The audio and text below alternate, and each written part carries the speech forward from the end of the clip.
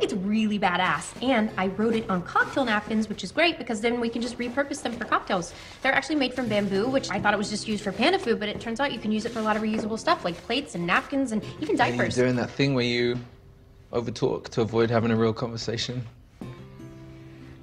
I think so. It's just Look, that I'm I. sorry. Sorry. You go. Stella? I'm sorry I didn't tell you I wanted to have kids.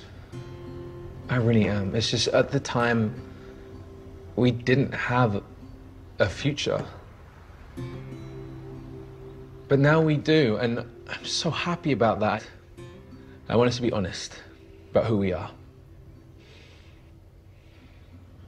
You go first. Why do I have to go first? Because I won the coin toss. When was there a coin toss? It happened earlier. You missed it, fortunately. Okay, okay, I'll go first.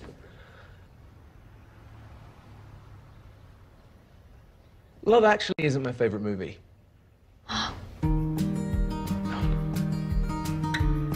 Okay, go on. I don't love hard-boiled eggs. I mean, they're your favorite, but they're not mine. I don't love the music of Sara Bareilles either. I mean, I'm British. I can't allow myself to be that happy. Uh, also, I'd like you to spank me. Maybe not all the time. Just, just, just maybe during sex, or if we're playing a team sport and I do a really good job. Um, I don't love the. I don't love the way that um, I can't keep going outside every time I have to fart. I mean, winter's coming. I'm not going to be able to spend that kind of time outdoors. Also, I don't love being your pillow.